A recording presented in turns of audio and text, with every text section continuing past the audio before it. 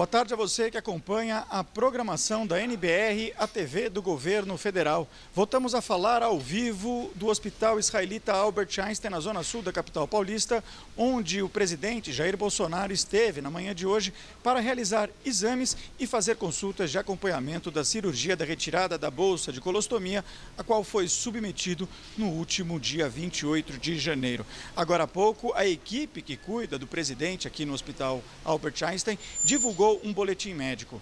Diz a nota: o excelentíssimo presidente da República, Jair Bolsonaro, foi submetido à avaliação médica multiprofissional na manhã desta quarta-feira no Hospital Israelita Albert Einstein.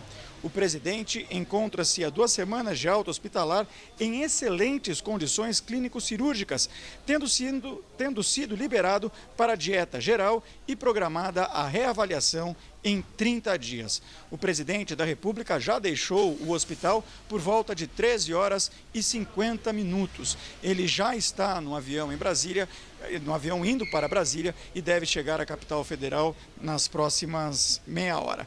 O presidente ficou por quatro horas aqui no Hospital Albert Einstein, realizou exames e também consultas. Foi a primeira vez que ele retornou ao hospital depois de se submeter à terceira cirurgia após o atentado ao qual eh, foi alvo durante a campanha presidencial.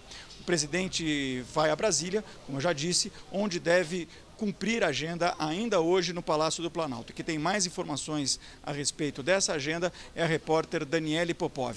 Boa tarde, Daniele. Oi, Ricardo. Boa tarde para você, boa tarde a todos. É isso mesmo. Daqui a pouco, às 5 da tarde, o presidente Jair Bolsonaro ele vai comandar a reunião do Conselho de Defesa Nacional.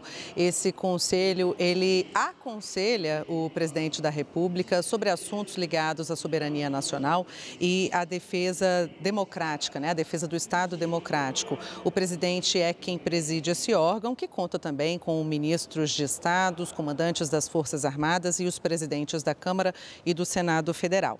Há ainda a previsão de uma declaração à imprensa após essa reunião. Assim que nós tivermos novidades, então, sobre essa reunião, após essa declaração à imprensa, a gente atualiza aqui na programação da TV NBR.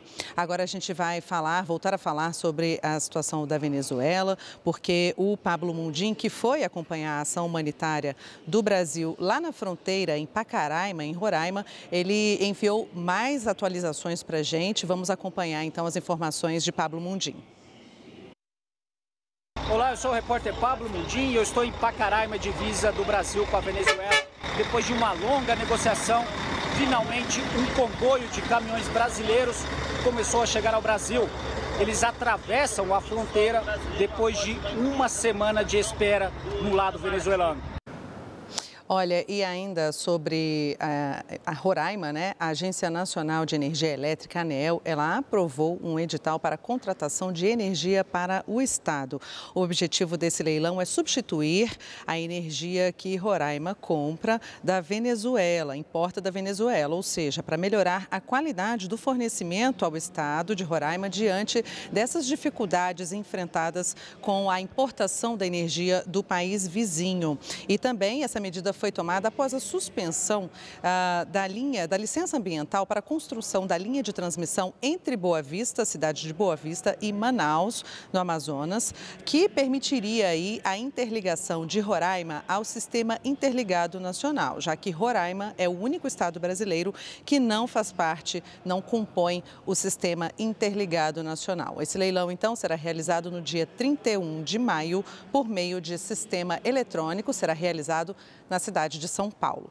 Nós podemos voltar a qualquer momento com outras informações. Continue com a gente na NBR, a TV do Governo Federal.